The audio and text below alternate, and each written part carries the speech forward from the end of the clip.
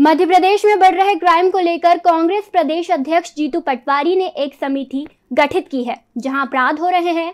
कांग्रेस वहाँ बीजेपी के खिलाफ प्रदर्शन करेगी। जीतू पटवारी ने कहा कि बढ़ते क्राइम को लेकर हमने समिति गठित की है। सरकार एस सी से अपराध के मामले में हमेशा गुनागारों के साथ खड़ी रहती है। जीतू पटवारी ने मीडिया से चर्चा करते हुए कहा कि हमने समिति का गठन इसलिए किया है क्योंकि मध्य प्रदेश के सागर में जो घटना हुई है उसमें प्रशासन गुनाहगारों के साथ दिखाई दे रहा है।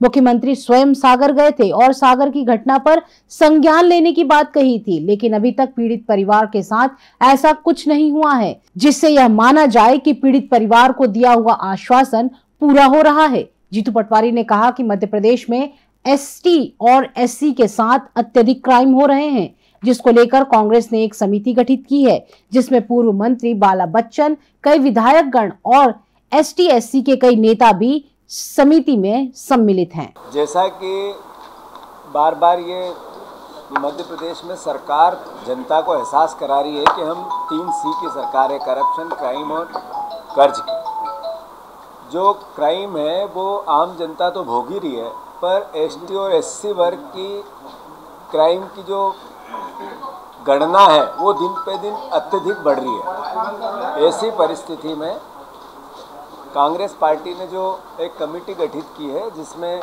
आदरणीय पूर्व गृह मंत्री बाला बच्चन समेत कई विधायक और एससी परिवार एसटी परिवार के हमारे नेतागण हैं, उन्होंने इस पर एक विस्तृत रिपोर्ट बनाकर, चूँकि अलग अलग घटनाओं का अलग अलग ब्यौरा है तो जो सागर में तीन एक ही परिवार के लोगों की हत्या दमंगों ने की, और उसको लेकर प्रशासन की जवाबदेही या प्रशासन का कार्य व्यवहार हत्यारों के साथ दिखा।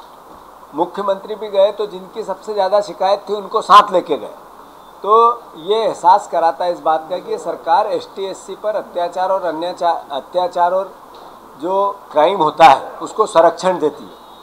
तो हम मानते हैं इस बात को कि विधानसभा में हमारे विधायक तो उठाएँगे ही, पर सागर में भी इस पूरी घटना को लेकर मुख्यमंत्री के जाने के बाद भी न्याय नहीं मिलना एक बहुत ही गंभीर विषय है और बहुत ही चिंता का विषय है।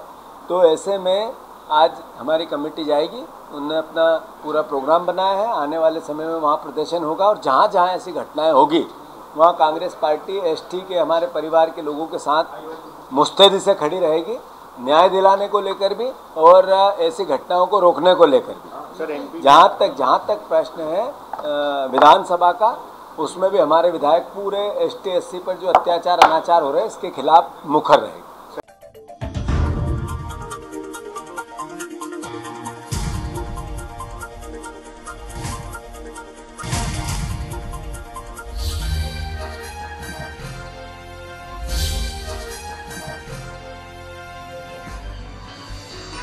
आप देख रहे हैं दखल न्यूज़।